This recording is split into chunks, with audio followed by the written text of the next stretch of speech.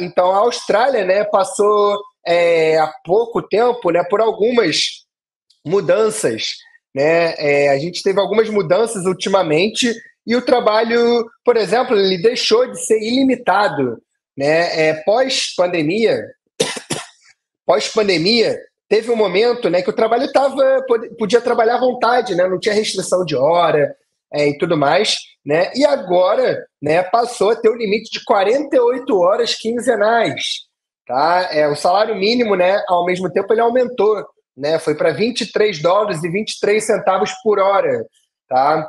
É, mas isso aconteceu já há quase é, um ano e meio, mais ou menos, é atrás.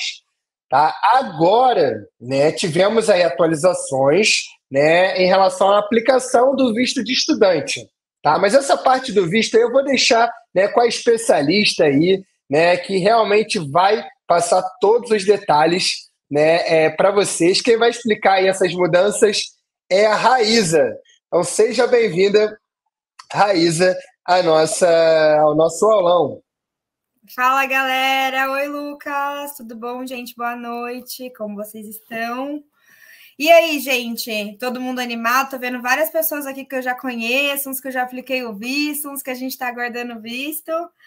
Gente, as, as mudanças, assim, elas foram simples, mas eu acho que são mudanças significativas. Eu acho que o principal ponto, até para a gente explicar, né, Lucas, é a mudança do, do nome, né, que antes era GTE, que basicamente era um, um entrante genuíno e temporário, e agora eles mudaram para um estudante genuíno. E isso é justamente para incentivar as pessoas que às vezes pensam, né, que tem que ir para a Austrália e tem que sair, e às vezes não. Se você tiver alguma coisa a agregar, se você, como o Lucas falou, se você se dedicar nos estudos, buscar qualificar, dependendo da sua área, a Austrália pode ter um espaço para você, e eles fizeram essa mudança, até no site eles colocam que é justamente para que as pessoas entendam que realmente é, não é temporário, né? Dependendo da sua qualificação, pode ser que você fique e que você agregue para a Austrália.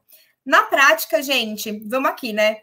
Carta GTE, antigamente, acho que vários de vocês já ouviram falar que era a carta de intenção, a carta que a gente explicava ali é, o motivo pelo qual a gente estava indo, se apresentava um pouquinho mais, é, falava aí um pouquinho mais do, da trajetória no Brasil. Ela foi substituída é, por umas perguntas mais específicas, tá? Então, são perguntas é, mais direcionadas, que perguntam ali é, com que você trabalha, qual o seu objetivo, por que, que você está decidindo estudar na Austrália esse curso e não no Brasil, é, o que que o que, que esse curso vai acrescentar para você quando você voltar para o Brasil, né? Se você vai ter aí algum tipo de, de é, oportunidade de emprego mesmo, o seu salário vai aumentar, enfim.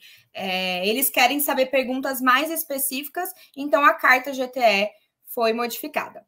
Eles também procuram aí saber do seu detalhe do seu momento atual, então vínculos familiares, como está aqui, comunitários, empregos, circunstâncias econômicas. Lembrando que, gente, nada é uma matemática exata, tá? A gente tem que fazer uma análise, a gente precisa ver aí é, quais são os objetivos de cada pessoa, qual é o propósito de vocês, se vocês querem aprender a falar inglês, porque vocês querem, por exemplo, voltar para o Brasil e fazer um mestrado, um curso, uma pós-graduação, ou se vocês às vezes querem começar a fazer, aplicar para uma multinacional, por exemplo, que exige aí uma proficiência alta de inglês, enfim. A gente precisa explicar a escolha do curso e a razão é para que vocês tenham, para que vocês é, escolheram a Austrália como destino de vocês tá? E também os benefícios do curso, é, o que, que ele vai acrescentar aí na vida de vocês. Boa, um detalhe, né, é que é muito importante, o visto de estudante, ele muitas vezes ele, ele era utilizado, né, é, para um propósito que não necessariamente era para é, estudar e retornar, né, ao país de origem, né, que era o que deveria ser citado, né, na carta GTE. É, então acabou que isso virou um, é algo que, que tinha que colocar na carta, mas não era uma realidade. Né? Então, Exato. através de, dessa reformulação, fica muito mais verídica né? É, a, o propósito do estudante, né? e até mesmo a Austrália ela precisa né, de muita mão de obra qualificada, e os cursos muitas vezes dão essa possibilidade né, de você ficar na Austrália, conquistar né, é um visto de trabalho, de residência, né? Então faz muito mais sentido, né? E eu acredito que que pra gente, né, MUSE, né, o nosso modo MUSE de aplicar o visto não, não mudou não é nada. grande né, é. diferença. Então eu vejo que teve muita especulação, muita mídia, mas na verdade a gente já seguia né, é, os caminhos não. Não nada, né, Lucas, assim, do que a gente já aplicava, do que a gente já pedia para todo mundo. Até tem pessoas aqui pessoal, que vocês devem estar se perguntando, é, mas eu respondi exatamente essas perguntas, escrevi exatamente isso na carta GTE, e é exatamente isso, tá, gente? A carta GTE, ela basicamente tinha esses mesmos é, elementos, esses mesmos, esses mesmos tópicos, porém, como o Lucas falou, a gente sempre acabava puxando o objetivo para o retorno ao Brasil, justamente porque o perfil era de, de, é, entrevista temporário, e agora a gente fala sobre o futuro. E o futuro pode ser ficar na Austrália ou de repente fazer é, procurar um emprego em um outro país, né, num terceiro país ou estudar em um terceiro país também.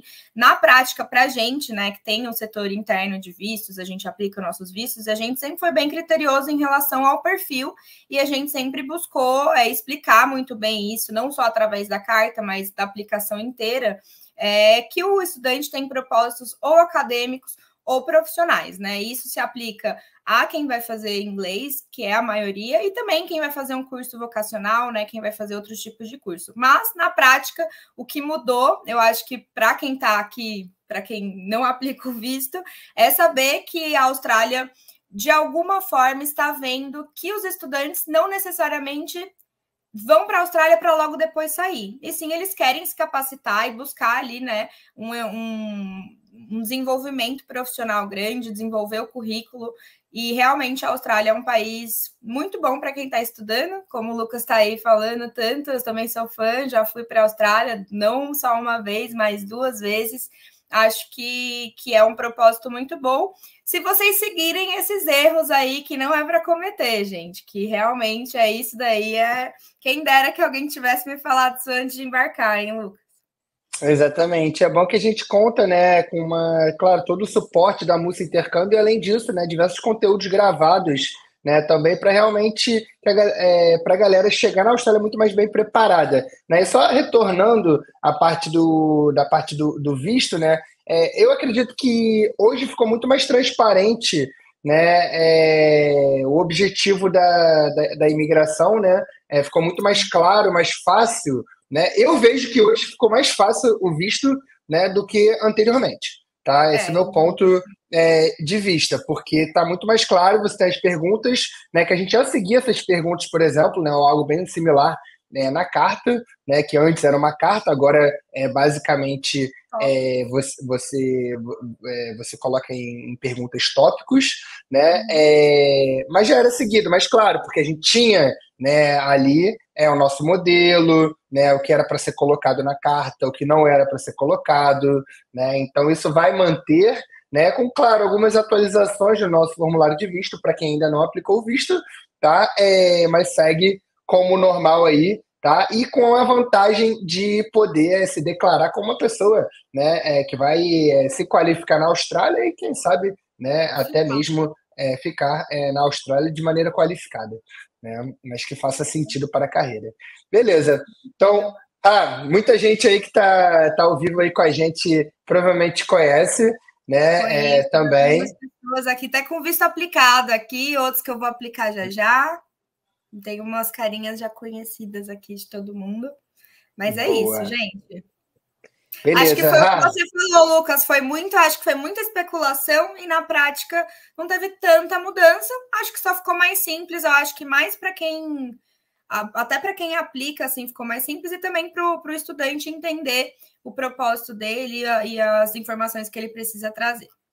Sim, até mesmo porque a MUSI já, né, quem, quem, tá, quem por exemplo, está matriculado, né, quem tem visto aplicado e tudo mais, vocês foram escolhidos, não posso deixar de, de, de citar isso, tá? Porque a quantidade né, de pessoas que, que nosso setor né, de vistos nega, né, é, de matrícula, né, é, de aplicação de visto é muito alto, né? Então a gente realmente é, a gente é muito criterioso em relação ao estudante que é genuíno ou não, né? Então é, se você está em processo né, com a MUS, se você está é, em processo de matrícula, em processo de visto, está indo embarcar para a Austrália, né, você sim é genuíno, né, e você passou uhum. por uma filtragem é, da nossa equipe é, antes, por exemplo, de você é, fazer uma matrícula.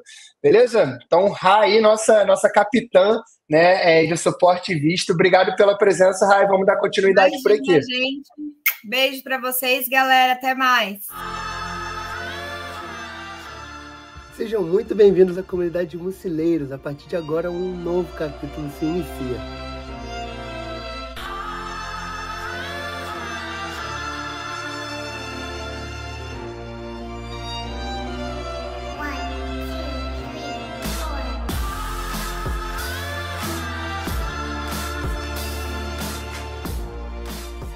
Essa comunidade não nasceu à toa, algo que você sempre quis, mas nunca encontrou. Como a gente sabe disso? Nós conhecemos muito mais do que você imagina. A gente consegue te ouvir e também te enxergar nos mínimos detalhes, através daquela pesquisa que você respondeu, daquela enquete que você votou e daquele post né, que você curtiu. A comunidade de Mucileiros é o primeiro espaço para intercambistas com conteúdos desde o passo a passo para o sonho de estudar e trabalhar na Austrália, desde o planejamento até o pré ao pós-embarque na Austrália. É um espaço onde estudantes internacionais podem se conectar e trocar experiências e assim transformarem suas vidas e carreiras. Bora começar esse capítulo juntos?